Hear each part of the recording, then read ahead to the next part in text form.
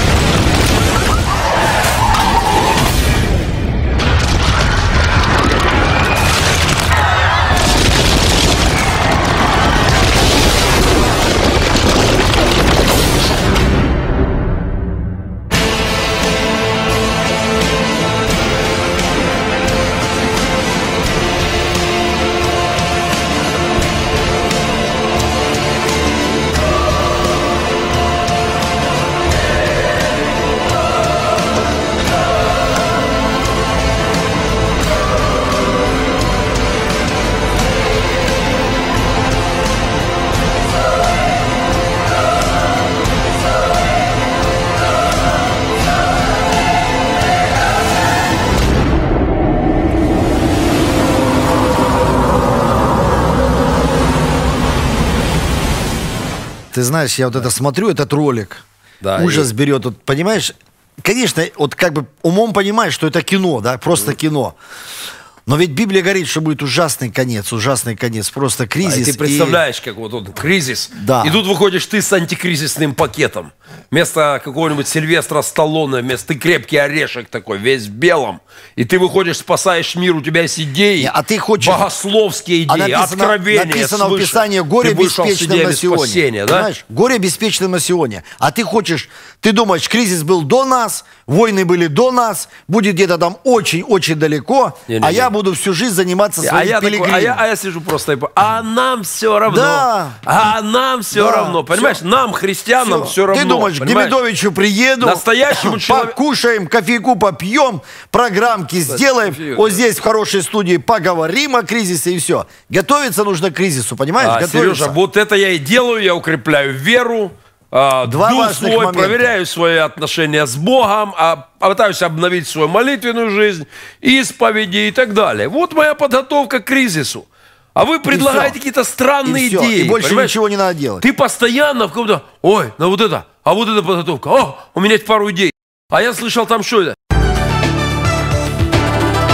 Во все времена, перед тем, как Бог желает наказать землю, э, суды произвести, Бог находил человека, верного ему, да, и он сам, не просто он был верный, смотри, Ной мог тоже быть просто верным, но Бог говорит, послушай, Ной, я хочу наказать землю, не скрою от тебя, от моего верного человека. Значит, для того, чтобы ты этот кризис пережил, ты должен мне поверить, построить ковчег, взять туда твари по паре, и таким образом Ной пережил. А представь бы Ной сказал, нет, я буду тебя, Господи, любить, буду жить, и все. Иосиф, предусмотрен Господом, идет туда, страдает, возвышается. Почему? Потому что у Бога есть план. Как те тощие коровы, когда пожрут полмира или весь мир, как своему народу дать шанс пережить. И я убежден, что сегодня есть в твоем тезисе. у Бога есть план. Ноев много развелось. Там был один Ной, понимаешь? А у вас Ноев столько, и кажется, своей рецептурой спасения Гена, мира. у И у Господа- меня простой вопрос, а богов сколько? О, Бог один. Каждый со своим рецептом. Бог Один один. говорит, ковчег построй, другой бункер. У Господа И думай, план. кого слушаться. И каждый говорит, мне Господь открыл. Да- и носятся со своими идеями. Дорогие друзья, Спасители значит, мира, крепкий орешек. На- на- на- название Брюс нашей Уиллис. программы S-хата-логия или три способа пережить соседа. На самом деле я абсолютно убежден, что скорби придут. Здесь не вопрос скорбей, кризиса. То есть это, ну, не вопрос, будет или нет. Будет. Все успокойтесь, в этом смысле волноваться не надо. Он точно придет. Другой момент, насколько, как мы к ним относимся, как мы к нему относимся. Второй момент, как мы к нему готовимся. Есть учение о нашем спасении, сатериология, да? Где Христос спаситель мира. А вы предлагаете мне какую-то бункерологию. Я- Сребрологию, Геннадий, понимаешь? Геннадий. Спасение, инвестициология какая-то, понимаешь? Послушай, Вы мне предлагаете свои варианты спасения мира. Алло. Как? Масштабчик не Я тот. ищу тебе- Не справитесь, молодые люди, не справитесь. Я тебе еще ничего не предлагал. Масштабчик не тот. Я чуть-чуть. тебе еще ничего не предлагал. У нас есть эксперты. Мы выбрали шесть экспертов. Надеюсь, что все смогут поучаствовать. И э, первого эксперта, которого, э, собственно говоря, из-за которого эта тема возникла, потому что Павел Левушкан, эксперт наш из Риги, такой пост написал, Павел, мы тебя приветствуем, где выразил некую такую озабоченность происходящим, и обвинил в какой-то степени капитализм, который э, наступает. Конечно, и, да. собственно говоря, я Да. подумал, эта тема всех волнует. Много было постов, вот, то есть много было комментариев на этот пост. Павел, мы тебя приветствуем в нашей программе, ты уже частый гость. И вот давай вот с тебя начнем.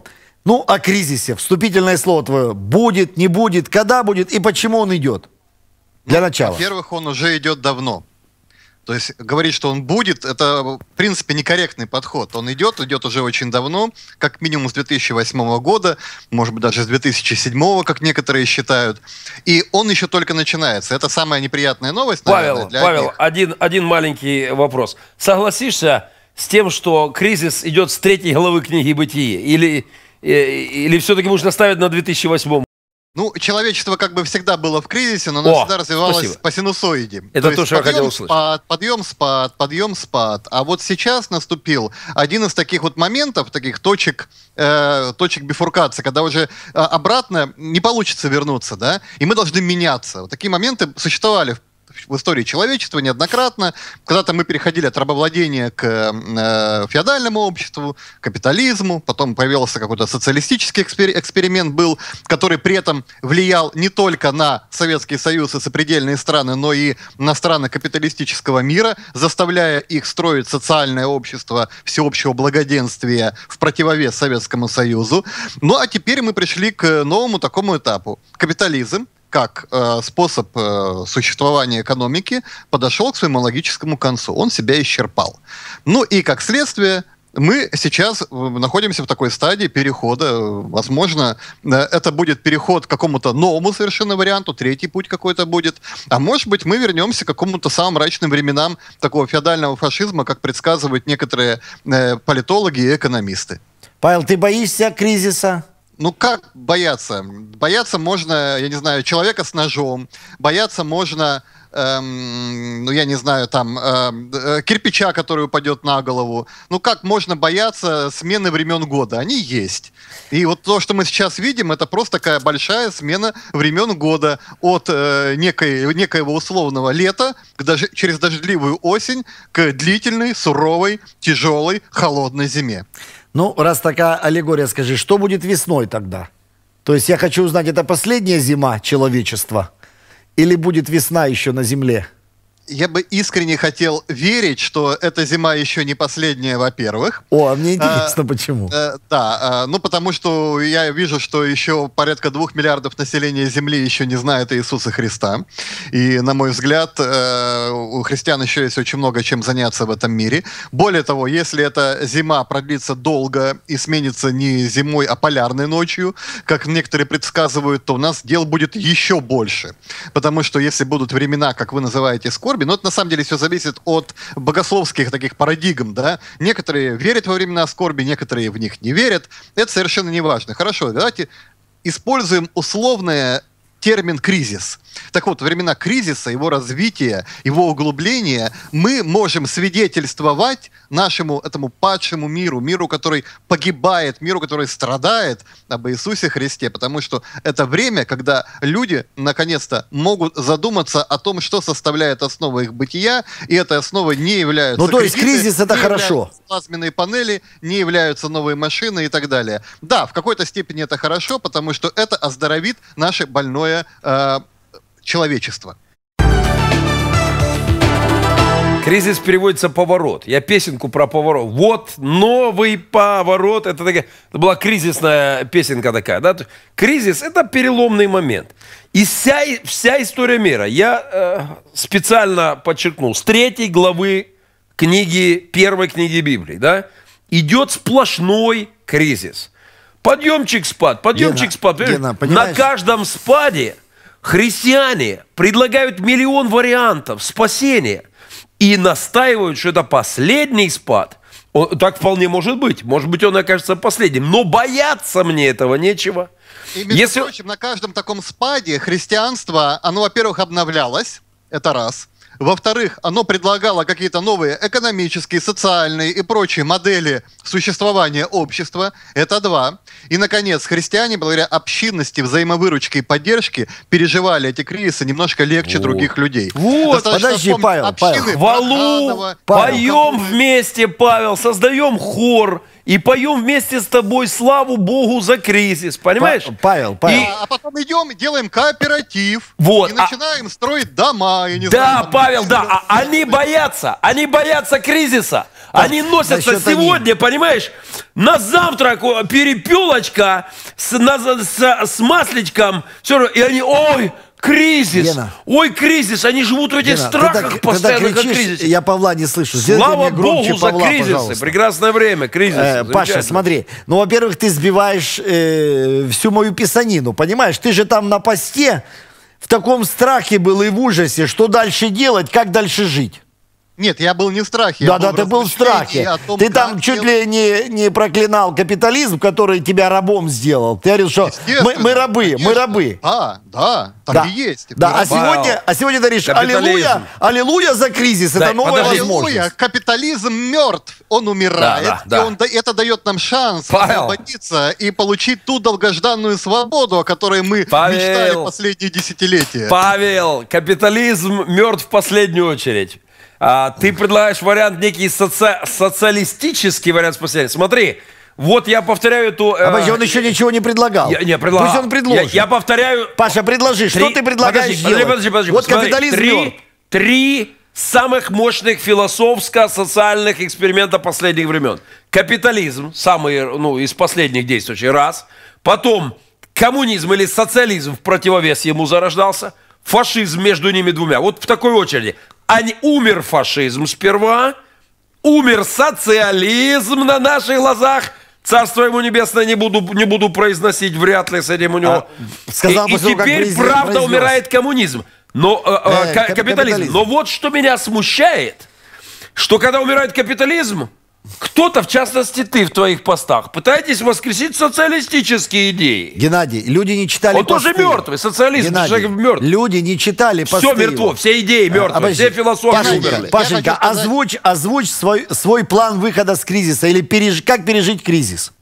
Ну, во-первых, я считаю, что социалистическая, вообще социализм не был построен, во-первых, нигде. То есть социалистическая идея окончательно не умерла просто по той причине, что она никогда и нигде еще не реализовывалась. Тем более, что вариантов ее реализации существует очень большое количество. И коммунистический, марксистский вариант далеко не единственный. Есть, существует своя собственная, аутентичная эм, идеология христианского социализма, которую разделяли очень известные философы, как в России, это русско-религиозный философ, там и Бердяев, и другие, и на Западе, и в Европе, и в Америке, и так далее. Есть отличная идеологическая база для социализма. Есть третий, четвертый путь, это солидаризм, который в истории, наверное, воплощали всего две организации. Польская солидарность и Народно-трудовой союз иммигрантский, да, российский. Это тоже основанный на христианских духовных ценностях и подходе к взаимоотношениям между людьми способ организации социального устройства общества, основанный Как он на может выглядеть солидарности сейчас? людей. Там, противовес- я, я покажу Павел, вам, как это может выглядеть. Павел, как- Приезжайте ко мне. Такое государство есть. Государство бывших беспризорников Республика Пилигрим. Собственность общая, все поделено, все Паша, уравнено. Паша, я Мы там построили был. идеальное общество. Паша, я там был, я там не выживу, понимаешь? Я там не выживу. Я не хочу такой солидарности, А, понимаешь? а, ты Паша, сидел ты недавно на Фейсбуке без носков. Вот твоя солидарность. Пока Ну, ты постирал. спал, у тебя уперли носки, по- что подумал, что все это мои. общее, Он постирал понимаешь? мои носки. Да. Прекра- А это из, изжитки а, социалистического. И А. Павел описывает Царство Геннадий, Небесное. Геннадий. Он лев будет лежать с ягненком рядом. Олег пишет. В принципе, Иисус так и характеризовал все болезни, как схватки у женщины перед родами. Гена, я хочу сказать, что, допустим, если ты рассма... если это Павел имеет в виду вот такой, я не знаю, первобытно-общительный строй, как у тебя, приблизительно, понимаешь? Там держится все на твоем авторитарном слове. Ты, когда на программе здесь, ты получаешь пять звонков, которые ты разруливаешь. Я приеду, заприте его в интенсивку. Я, ну, Друзья мои, знаете, Да, чем мне да. нравится христианство? чем? И, собственно говоря, почему я являюсь руководителем такого экуменического сайта Базница Инфо, межконфессионального, нашим разнообразием.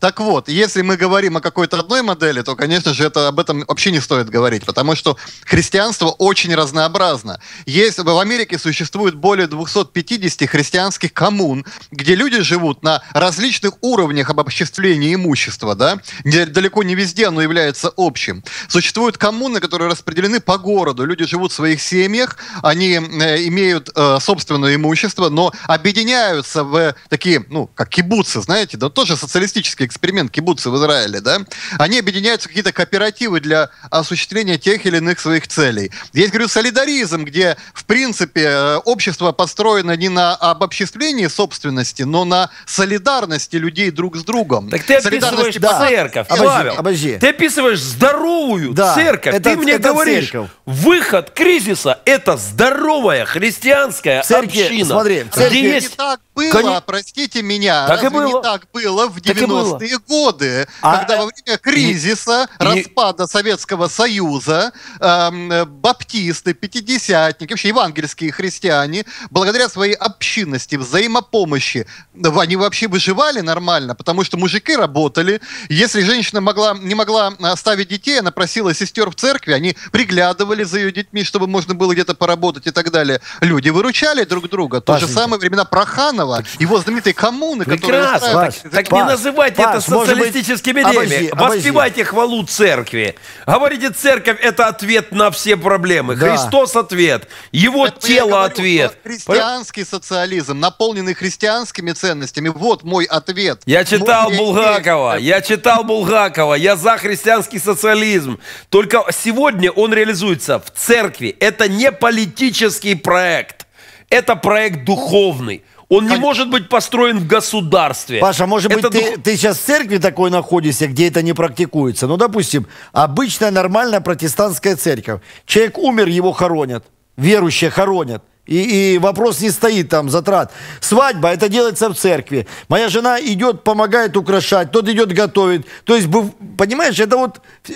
Это как раз Вот не смешивается говорю, имущество, что но взаимовыручка. могут дать свидетельство, они могут быть знамением этому миру, э, показав ему альтернативную реальность, альтернативный образ жизни, альтернативные взаимоотношения друг с другом. Когда люди будут грызть глотки за работу, за еду, еще за что-то, христиане смогут показать э, то, что мы можем жить по-другому. Гена уже решил, Смотри. что когда грядет кризис, он говорит, я со всем пилигримом меня- приеду, приеду к тебе. Мне говорит, он никуда и не грядет. У меня буду». этот кризис есть каждый день. И я давно живу коммуной. И никакого кри- кризиса. Что? У меня нормальная кризис есть. Это просто факт. Когда мне говорят, готовься к кризису, я сразу вспоминаю свое пионерское детство. Я говорю, я всегда готов. У меня образ с мертвым миром. Еще в, в начале видео, видиков, фильмов, просмотра летит дракон в каком-то боевике. И с, буз- с базукой стоят ребята, бабах в него, у него в голове дырка, одна дыра сплошная, мозги вылетели, все. Вместо головы дыромаха. А он себе продолжает лететь. Машет крылышками, вращает простреленной головой. А второй говорит, а как же ж так? Как же он летит?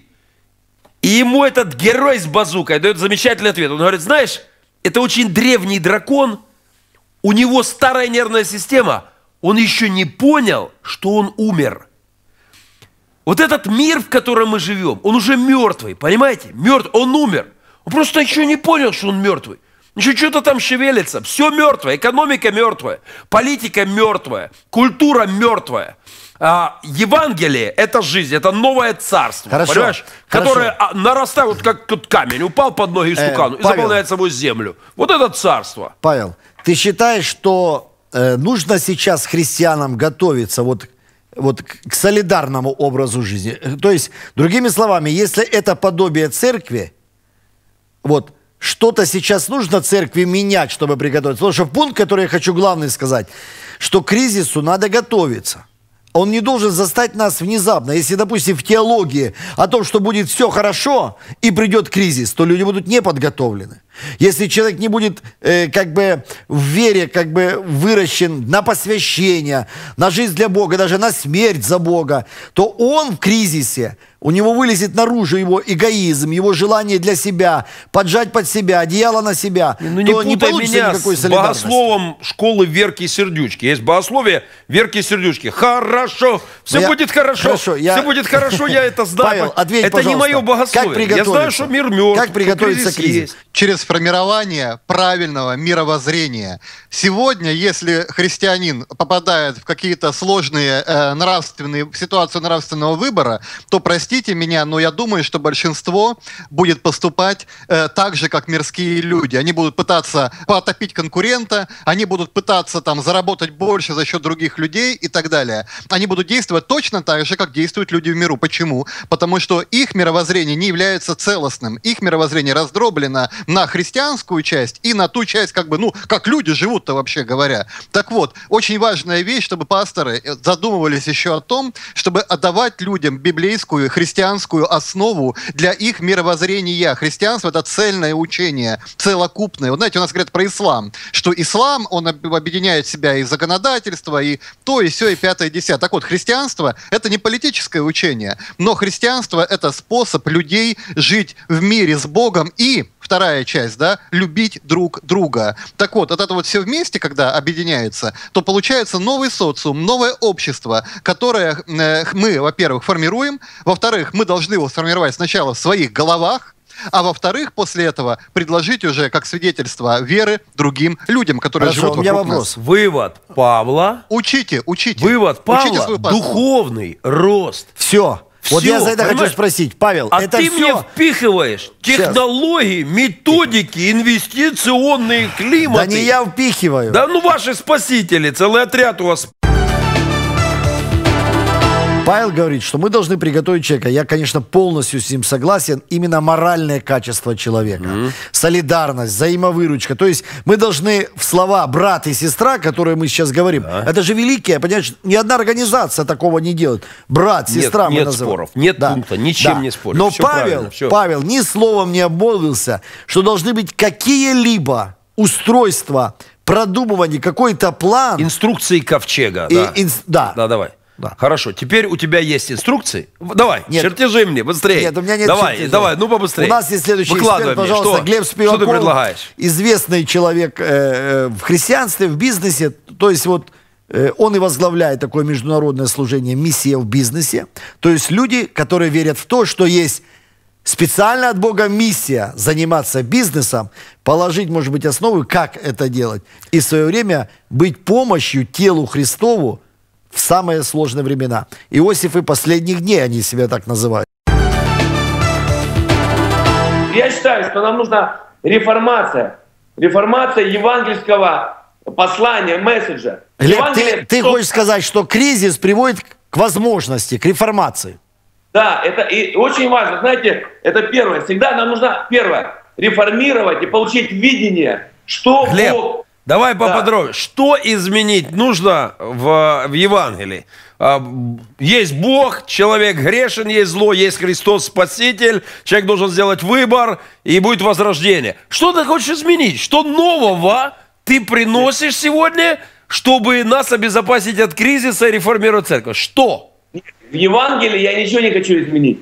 Я э, призываю поменять свой взгляд и увидеть, что Евангелие способно не только э, спасать души человеческие, но Евангелие способно преобразовывать мир. И мы видим, как это произошло во времена реформации Мартина Лютера, когда Евангелие, евангельский подход, он стал ответом на те запросы, которые были в обществе в то время. И то, что это родило, можно сказать, христианские страны. И поэтому у нас выбор, Гена. Придет кризис, 2017 год, ну, к примеру, плюс-минус. И вопрос, он будет, например, 7 лет. И вот что после 7 лет, где мы будем жить? В какой стране мы будем жить? Вот этот вопрос. Или мы будем жить в стране, где будет править атеизм, э, светский гуманизм, или мы будем жить в стране, где будет править править евангельские принципы, евангельские Глеб, ценности. Глеб, я, я так понимаю, что мы все согласны, что кризис есть, я верю, что он всегда есть, и он будет еще страшней, дракон с простреленной башкой скоро падет. И тут появляешься ты вместе с Демидовичем на пару и говоришь, ответ в мобилизации бизнесменов и подготовке новых Иосифов? То есть вы такие, вы, вот вы Брюс Уиллисы такие, да? Вот вы появились, кризис идет, и вот мы с Демидовичем, миссия в бизнесе, сейчас мы тут бизнес-проект организуем, Не, ну и обожди, выйдем из кризиса. обожди, Или как? обожди. Это отдельно. Скажи, И- кто и такой, кто такой был Ной? Ну Брюс что? Уиллис? Ну, Ной, на, ну, Ной, Ну нормально. кто был Ной? Ной был человек, который услышал Бога. Ты не можешь себе предположить, что, допустим, вот есть человек, который услышал Бога, и Бог ему сказал, строй экономическую модель. Хорошо, Глеб Ной, что тебе сказал Бог? Глеб Ной, Ной Глеб. Гена, всегда нужно обращаться к Писанию. И вот э, что говорит Иисус? Как было в дни Ноя, так будет и в дни Сына Человеческого. То есть как было в дни Ноя, это он говорит о тех временах, когда наступает серьезное потрясение, которое он предсказывал. И Ной не просто, знаешь, говорил, ну вот, мы будем, буду веровать. Понимаешь, он искал, и все, и Господь меня спасет. Хорошо, Глеб, э, ты Ной, ты Ной, я уже согласился. Ты Ной, и он, э, он у тебя один из э, сыновей твоих, э, кто там? Надеюсь, брат. Брат Ной и брат Ноя, да. И вот вы вдвоем, дайте мне чертеж, ваш чертеж, что вам сказал делать Бог? Вот как, дайте чертеж, потому что мне чертежей много, Ноев развелось, Глеб, много. Нет, И каждый со своим правда. чертежом, Я- понимаешь? Я езжу, я, слушай, я встречаюсь с людьми, я вообще не вижу, не встречаю практически людей, которые имели хоть какое-то понимание, вообще какой кризис. Что? Не может быть. Это 99,9%. Откуда ты берешь ной в этих? Глеб, я только что новости читал. Только что свои рецепты спасения мира предлагали политики вот сегодняшним числом. Политики А, про спасение мира предлагали экономисты, предлагали и религиоведы. Твой рецепт. Моя миссия, она это маленькая часть в теле Христовом, связанная э, с, э, как бы, ну, с людьми, которые призваны э, быть в бизнесе, чтобы построить из бизнеса такую, э, как бы использовать свой бизнес для евангелизации мира. Обидная Для штука. евангелизации- Обидная штука. Так Ну, ты ты такой дослушай. ковчег для бизнесменов строишь, а я, Глеб? А я как же? А ты, а ты, ты, тебе, ты и так в кризисе живешь, тебе не страшно. Все нормально, ты переживешь и так. Я переживу легко кризис. Все. Да. На самом деле, ну, знаешь, Ген, мы верим в то, что, ну, как бы, мы, о чем мы учим? Вот у нас мы собираем на наших конференциях, учим о том, что основная э, ключ выживания не просто в, кри- в кризисе, это фокусировать свое внимание на помощи другим. И поэтому мы понимаем, что мы, как, ну, как Иосифы, мы должны сыграть свою ключевую роль и помочь остальным 11, коле- 11 коленам, ну, условно, если применять как бы существующие церкви, 12 колен Дома Израиля. Это как, как колено, как Иосиф, и как люди, которые в бизнесе должны призваны что-то сделать. И поэтому я считаю, что если ты призван заниматься детьми, ты должен заниматься детьми. Если Сергей, он, Демидович, он должен заниматься телевидением, он должен заниматься Значит, телевидением. я правильно понял, когда кризис прижмет, мне к тебе идти? Я правильно сориентировался? Да, да, мы для тебя приготовили. Только для тебя. Все, вот это классная нота. Глеб, очень классно, очень классно. Просто готовься э, принять Гену, но не забывай, что он придет не сам.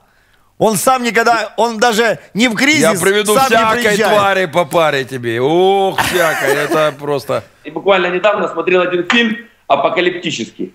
И ты знаешь, я все время, ну их смотрел, может быть, несколько таких фильмов. И все время меня возмущает одна мысль. Когда, знаешь, происходит уже крах на земле, все вокруг, ну, разруха сплошная.